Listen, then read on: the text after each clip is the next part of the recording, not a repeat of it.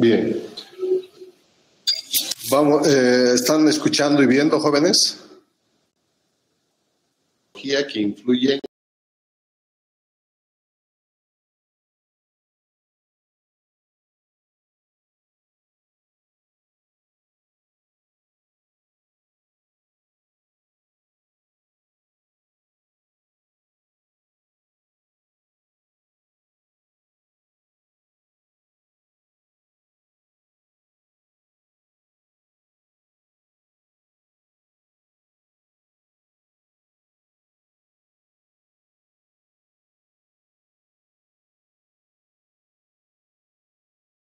la evaluación de los pacientes embarazadas lesionadas.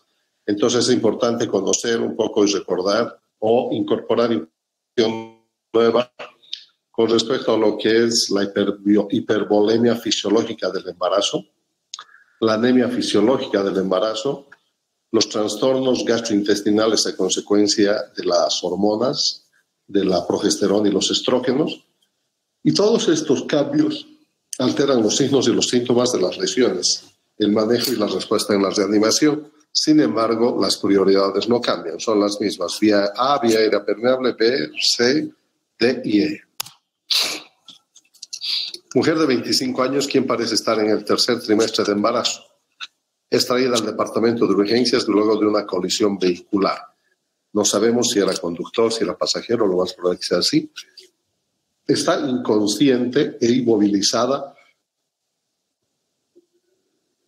sobre una tabla espinal larga. ¿Cuáles serían sus prioridades? Las mismas que en cualquier tipo de paciente con trauma. ¿Cómo impacta el embarazo en el tratamiento? En el sentido de que son dos pacientes los que estamos atendiendo.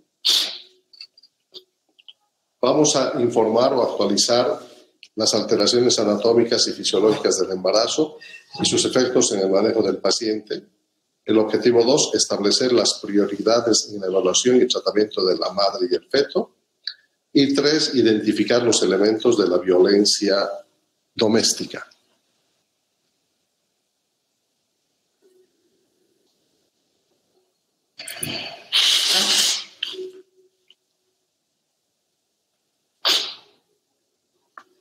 Toda mujer joven en edad reproductiva, uno siempre tiene, a no ser que sea tan evidente como esto, en ese estado de, embarazo avanzado, muy notable, debemos considerar que la paciente puede estar embarazada desde lo que es los 14, 13 años hasta los 45. Por lo tanto, es importante hacer, y más sobre todo si la paciente está inconsciente dentro de los estudios generales, un test de embarazo, ¿verdad? El útero agrandado a partir del segundo trimestre y es una muestra evidente de que está llevando un, un otro ser en su vientre. Por lo tanto, es importante hacer el diagnóstico precoz. Pero en esta fase temprana, los cambios anatómicos todavía, de repente en el primer trimestre, hacen poco visibles este, estos cambios y por lo tanto esto implica cierto grado de seguridad frente a los impactos porque está escondido aún dentro, del, dentro de la excavación pélvica como vamos a poder ver. ¿Cuáles son los cambios anatómicos y fisiológicos durante el embarazo y cuáles son sus riesgos? Vamos a ir observando. Hasta la décima segunda semana el útero está en, está, es intrapélvico y a partir de la décima segunda semana prácticamente eh, estamos hablando de 4, 8, 3 meses, el útero se convierte en un órgano abdominal. A la 20 semana, el útero, el fondo uterino está a la altura del ombligo y entre las 34 y 36 semanas bajo el reborde costal. Y a partir de esta semana, con la acomodación de la cabeza, el 90% de las presentaciones son cefálicas. El niño nace de cabeza y se denomina acomodación cuando la cabeza del niño por el gran volumen y los movimientos, acomoda su presentación en excavación pélvica y a esta altura puede bajar el fondo uterino y medir menos. ¿Qué cambios y riesgos existen en el primer trimestre? Fíjense, acá estamos viendo 12 semanas, 16, 20, lo que habíamos hablado. El útero es intrapélvico y sus paredes son, son muy gruesas. El feto está protegido del trauma directo en general pero en esta etapa corremos riesgos de aborto e inmunización con pequeños sangrados. El hecho de que la pared uterina esté engrosada le da cierta seguridad y protección, sin embargo, traumas contusos en este sitio pueden provocar abortos o, eh, o amenazas y el fenómeno de la inmunización materno-fetal por sangrados mínimos. En el segundo trimestre ya el útero es extrapélvico, dijimos que a las 20 semanas está llegando el fondo uterino a la altura del ombligo. Hay un gran volumen de líquido amniótico, la pared uterina se va, se va adelgazando y a esta altura lo que hablamos ya es del abrupto placentae o desprendimiento prematuro de la placenta frente al trauma. Además, en estas circunstancias, el embolismo del líquido amniótico, que es extremadamente peligroso para la mamá, y el fenómeno de isoinmunización para el binomio madre-niño. Entonces, uno tiene que estar muy atento en casos de, eh, desprendimiento prematuro de placenta, el hecho de que ocurran embolismos de líquido abiótico y la isoinmunización. Me voy a echar un vaso de agua, me espera.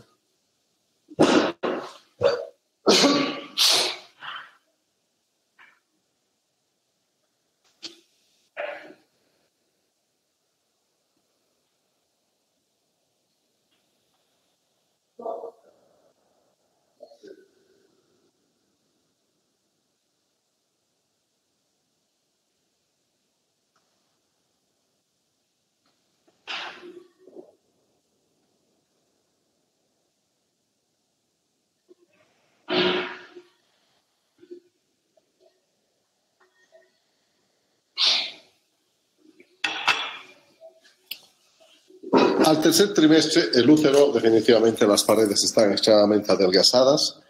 El, producto de la gestación empieza a adoptar la posición para el inicio del parto.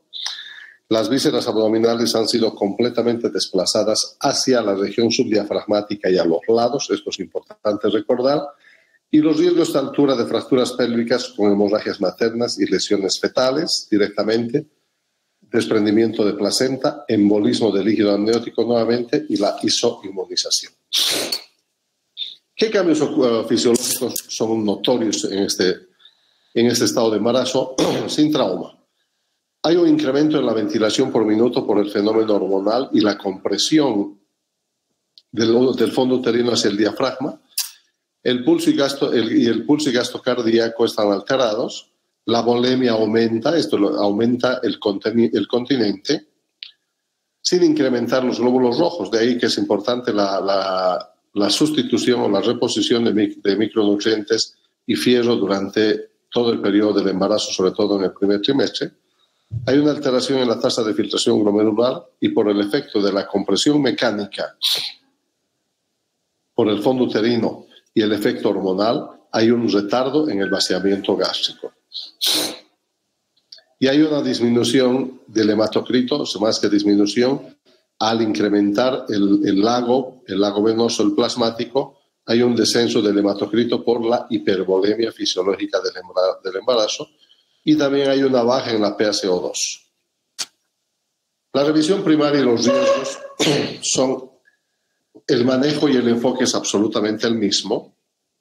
Tenemos que estar muy atentos a lo que es vía aérea permeable y la ventilación y el, y, el, problema de la aspiración por los vómitos o el reflujo. Es más difícil ventilar a las pacientes, de hecho están con, con, cierto, con un incremento de la frecuencia respiratoria y la PaCO2 que baja. Y existe dificultad para reconocer una pérdida temprana de la volemia por la hipervolemia fisiológica del embarazo. Entre tanto, la mamá ya ha perdido determinada cantidad de sangre aún no se han evidenciado trastornos a nivel del producto del embarazo. Entonces, es importante considerar este fenómeno de la hipervolemia como un mecanismo compensatorio y la eclampsia. Quizás se pueda encontrar en algún momento convulsiones en pacientes embarazadas y eh, accidentadas. Obviamente nosotros como primera instancia vamos a, vamos a pensar en TEC y convulsiones asociadas al TEC, sin embargo, en el último trimestre del embarazo no podemos olvidarnos de la enfermedad hipertensiva del embarazo y la eclampsia, que cursa con convulsiones. y puede llegar incluso a la muerte por depresión respiratoria.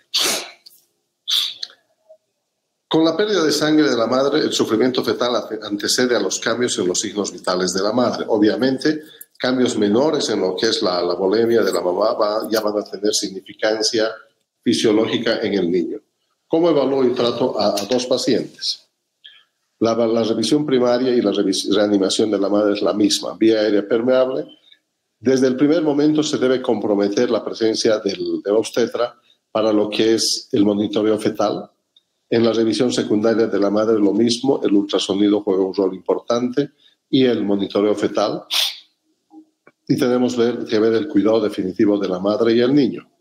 Ojo, las madres que son RH negativos reciben terapia con inmunoglobulina, excepto cuando las lesiones sean muy distantes del útero. Estamos hablando de lesiones en el tórax o las extremidades.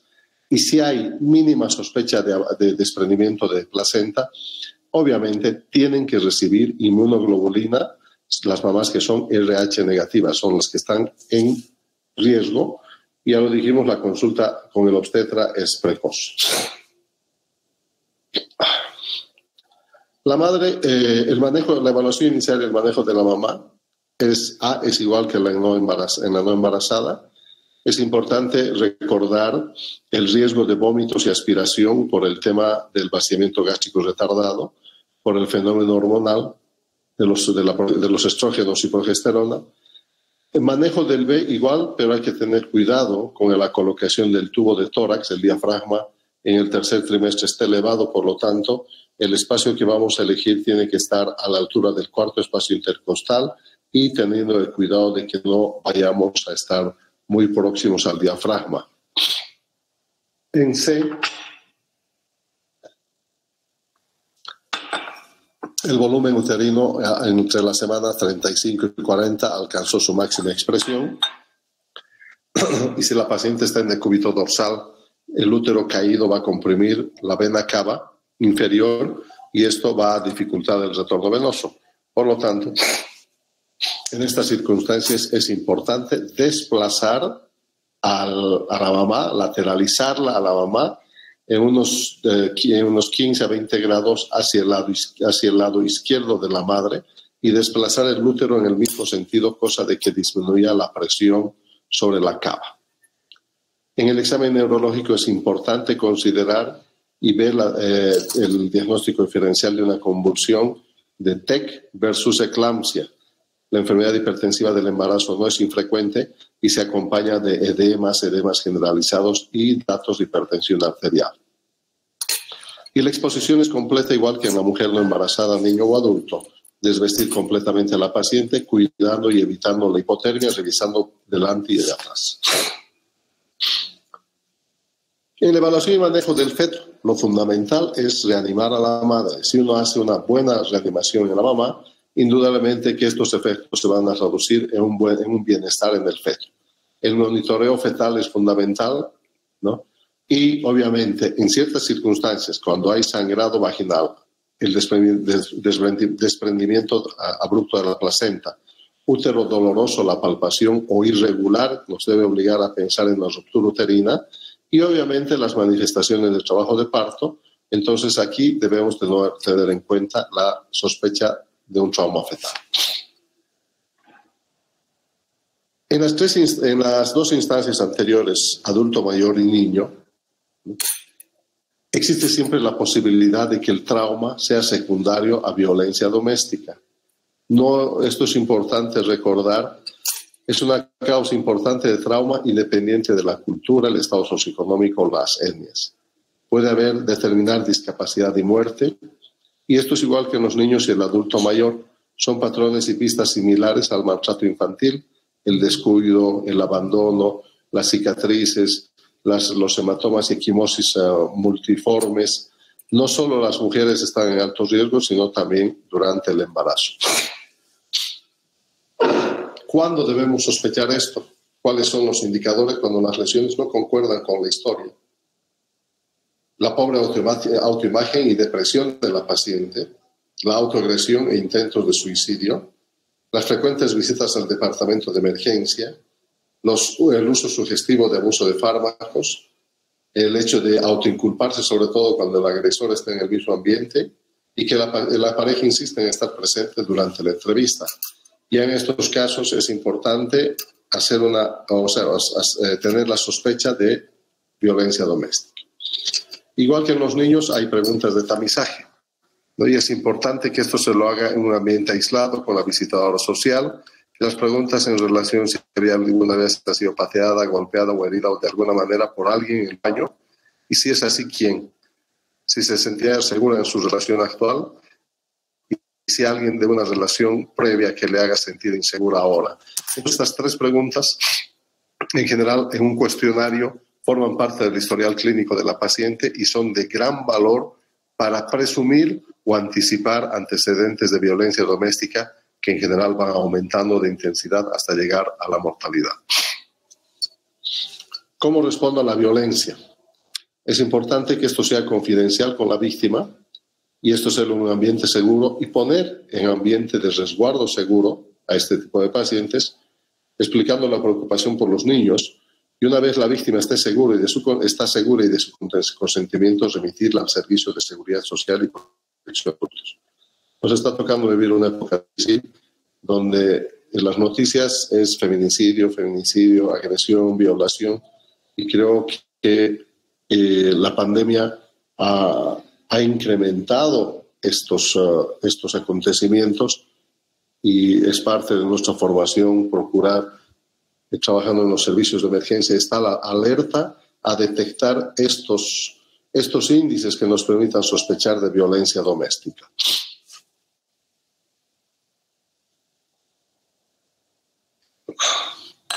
El cuadro clínico y las prioridades. Los cambios anatómicos y fisiológicos del embarazo influyen en el manejo del paciente. Es importante conocer el nivel que alcanza el fondo uterino en el primer trimestre, en el segundo y al tercero y al final, y qué ocurre con el encajamiento de la cabeza en la excavación pélvica al momento de ubicar la presentación. Se deben establecer prioridades en la evaluación y el tratamiento de la madre y el niño y la secuencia del ABC se mantienen. Lo importante es conocer los cambios fisiológicos y anatómicos y tomar conductas respecto a esto. La presencia de indicadores de violencia doméstica deben dar lugar a acciones, acciones que, de prevención fundamentalmente, para evitar que se vaya engrosando la lista de, eh, muertes por agresiones.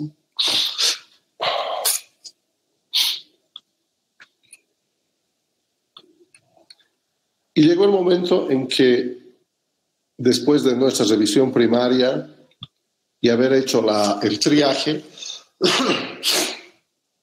como en el, en el video que vimos, en el, en el video eh, de, de, forma correcta, la comunicación con el lugar donde vamos a trasladar es importante, ¿no?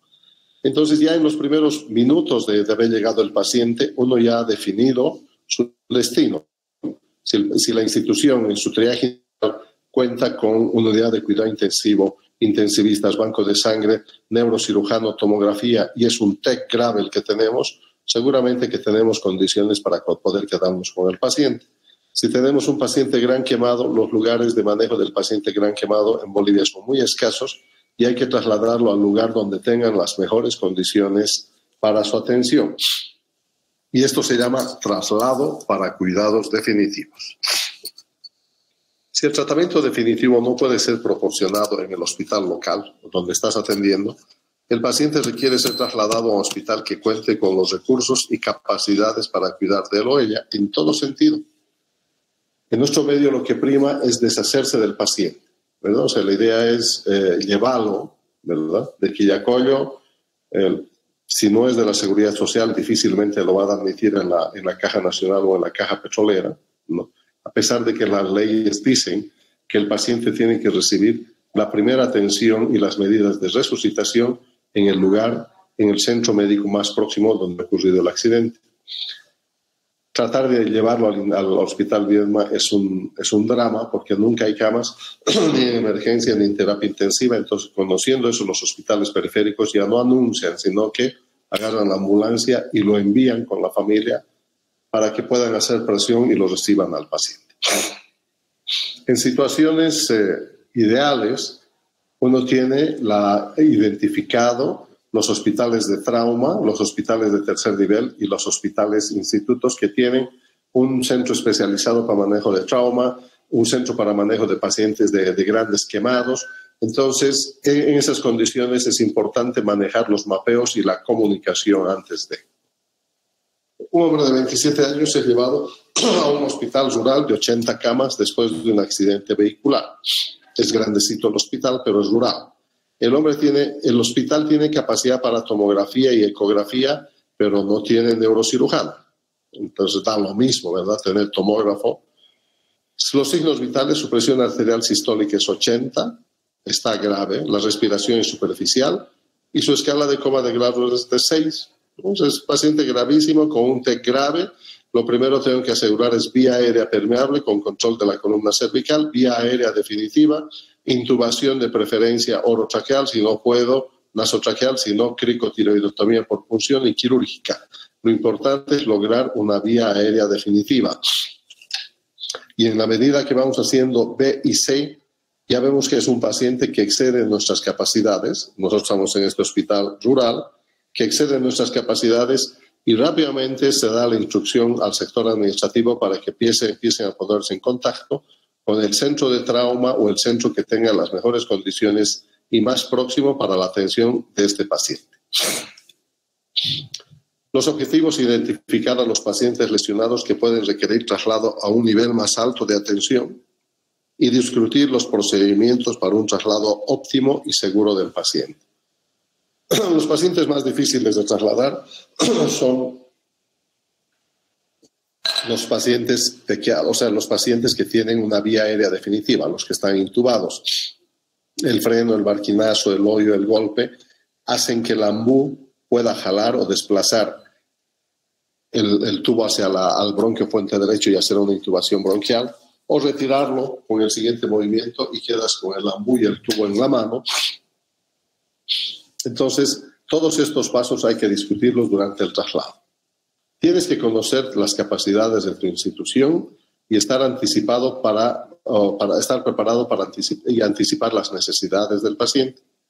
Es importante recordar esta, el, el concepto filosófico de no hacer más daño del que ya tiene el paciente y debemos identificar precozmente los pacientes cuyas necesidades exceden los recursos locales y vamos a necesitar de trasladar al paciente en las condiciones ideales.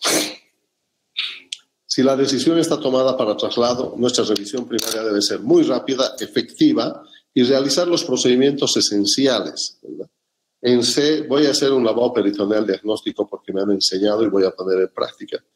Lo que vayas a hacer no va a cambiar la conducta. Si te sale positivo, no tienes quirófano, no vas a poder resolver el problema. Entonces tienes que trasladar. Si tienes un paciente con TEC grave, ¿verdad? No lo vas a enviar a tomografía, además de que no tiene, sino ese paciente tiene que ser trasladado a un centro que tenga las condiciones para atender.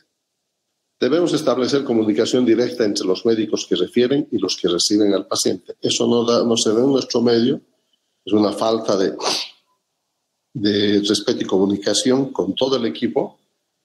Lo ideal es ponerse en contacto como lo hizo el doctor en el video correcto, decir soy el doctor tanto, quiero el paciente en estas condiciones, se, le ha, hecho el diagnóstico de TEC grave, se ha hecho la intubación aerotraqueal y además, además detectamos un neumotórax en el lado izquierdo que ha sido resuelto con un tubo colocado en el quinto espacio intercostal, salió aire y escasa sangre. En ese momento el paciente está estable, pero escala de coma de Glasgow es, es de 8 y necesita una tomografía. Nosotros no tenemos esta capacidad y estamos trasladando a un paciente intubado hemodinámicamente estable y está acompañando la serie radiológica de tórax y pelvis y está acompañando el médico de guardia que tiene experiencia en el manejo de vía aérea para traslado. Y trasladar al centro más cercano y apropiado y utilizar el medio de transporte más apropiado, por terrestre o aérea o marítima. ¿A quién traslado?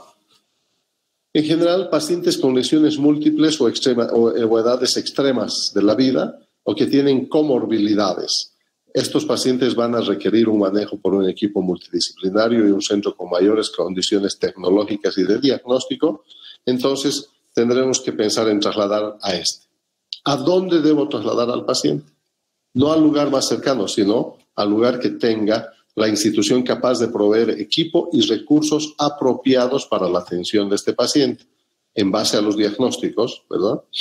Y trasladarlo a un equipo médico adecuado y calificado que pueda realizar el diagnóstico, tratar las lesiones y proporcionar dedicación y recursos. ¿Cuándo debo trasladar al paciente? Cuando he terminado mi revisión primaria haciendo los procedimientos esenciales y necesarios, estabilizado al paciente y me he puesto en contacto con el hospital, con el médico de turno para trasladar al paciente y tengo las condiciones elegidas para el transporte con la ambulancia y todos los recursos necesarios atingentes para el traslado. Trasladar después de manejar los problemas que amenazan la vida en la revisión primaria, después de que las lesiones incapacitantes han sido estabilizadas, después de haber hecho los arreglos necesarios, los contactos, y antes de realizar procedimientos innecesarios. Uy, podría ser un lavado peritoneal no jóvenes. No está recomendado ni siquiera un FAST, a no ser de que la ambulancia te diga, doctor, estamos preparando la ambulancia en cinco minutos, entonces cargando el botellón de oxígeno, como lo que sea, entonces tengo cinco minutos. Ah, le voy a hacer un FAST para ver qué hay, si hay líquido libre en los espacios, si es mujer joven, de repente ver si hay embarazo. Lo importante es no realizar procedimientos que retrasen el traslado cuando ya está todo previsto el traslado.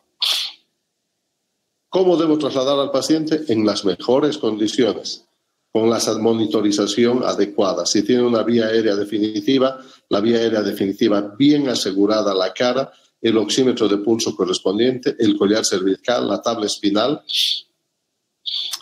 Determinado por las atenciones requeridas durante el traslado, el destino del paciente, los recursos disponibles y de acuerdo a los, a a los, a los convenios de traslados existentes. Y el programa llegó al final con una historia clínica de un paciente gravemente lesionado que tiene un traumatismo encefalocraneano severo con una escala de coma de grado de 6, que está intubado, que se ha, este, en B se ha detectado un neumotórax que ha sido drenado por, con un tubo pleural en el quinto espacio intercostal, línea axilar anterior y conectado a un sello de agua. Fluyó aire en gran cantidad y escasas 200 ml de sangre.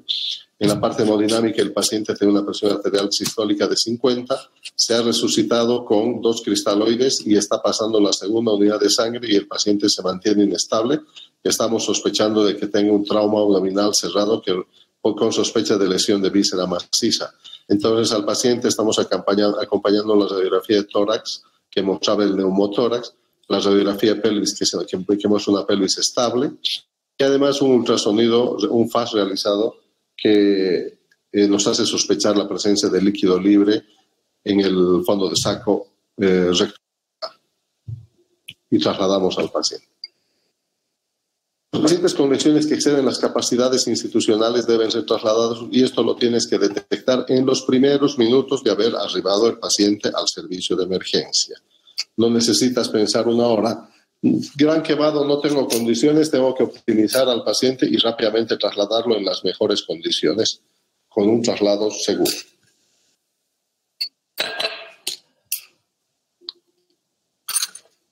Muy bien, jóvenes. Ahora tienen todo el tiempo del mundo para preguntar.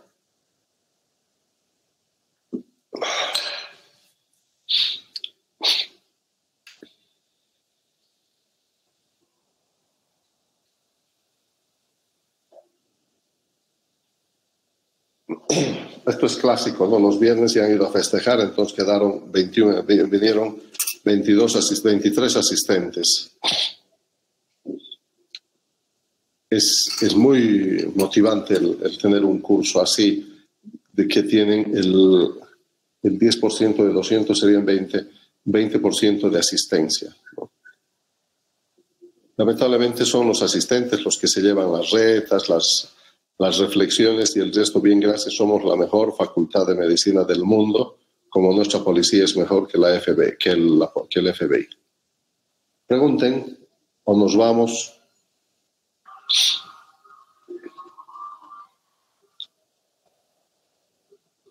Pueden preguntar del capítulo 1 hasta el 13 todas las dudas que quieran. Las preguntas van a estar en el departamento con su, con su jefe coordinador Hasta el día miércoles voy a presentar 20 preguntas de selección múltiple con una sola respuesta. Y no se preocupen en revisar las preguntas de trauma jóvenes porque eh, no van con errores. Y me carga cuando el estudiante quiere ser muy inteligente y empieza a observar una pregunta. Las preguntas de trauma pasan por un proceso evaluación por el, por el comité de trauma y se analizan en base a la complejidad de la materia y se van programando preguntas en forma equilibrada, de baja, mediana y alta complejidad.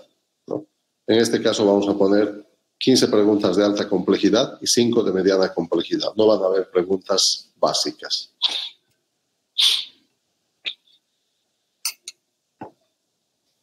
Bueno, al no ver más preguntas, ha sido un placer compartir esta, esta experiencia de virtualidad en un momento en que todo el mundo ya en todo el mundo ya es presencial y que podemos conversar, interactuar y ahí se ha demostrado que el aprendizaje es mucho más efectivo y duradero.